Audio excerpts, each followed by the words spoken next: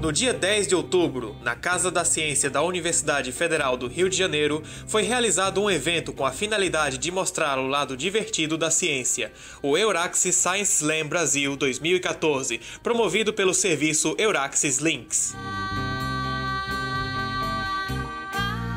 O Euraxis é uma iniciativa da Comissão Europeia para promover a mobilidade dos pesquisadores e o desenvolvimento das suas carreiras ele pretende melhorar e dar informação sobre oportunidades de emprego, sobre serviços, sobre os direitos, tem ainda um valor acrescentado, que é o de fazer com que a ciência não seja uma coisa chata.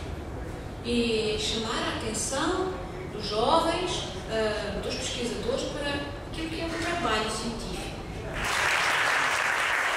Após receber inscrições de mais de 30 pesquisadores do país, o evento competitivo reuniu os cinco finalistas para que eles apresentassem seu projeto de pesquisa ao público de uma maneira divertida e original.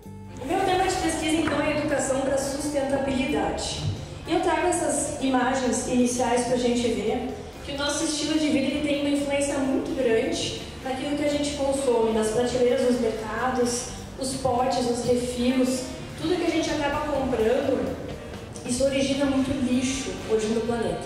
Scientists they um, they discovered that there's a strict relation between both Alzheimer's and diabetes, and because brain with Alzheimer's disease has the same insulin resistance that occurs in patients with uh, diabetes.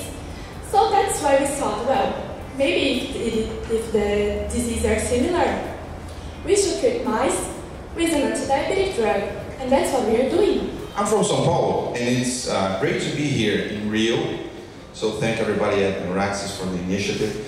It's really great to be here in Rio because you guys have water. and uh, you know what I did today? I took a shower. we know for a fact that 5% of people management happens in the formal. The other 95 is relationships, the hallway, the coffee, that lunch, friendship, what can I do, and the do's and don'ts. And this was my PhD. Mas enfim, eu, eu sou uma morte muito.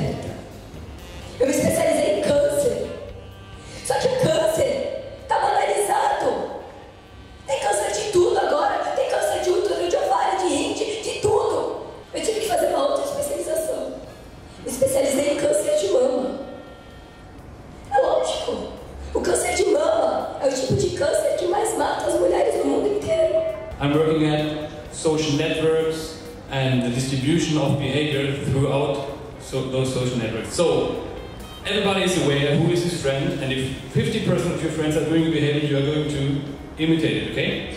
Is that right? So you just perform with me, just we will rock. Okay, so anybody look up diagonal to your friend? Yeah, that's it's going get very good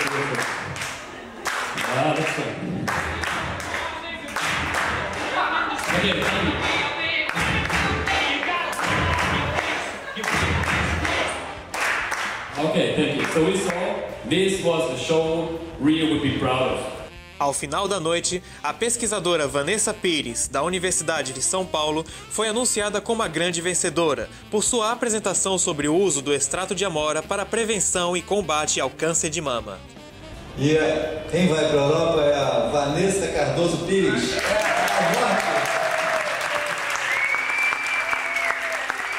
Como prêmio, além de uma viagem com tudo pago à Europa, a pesquisadora visitará um instituto de pesquisa à sua escolha e receberá aulas de comunicação científica com especialistas internacionalmente reconhecidos.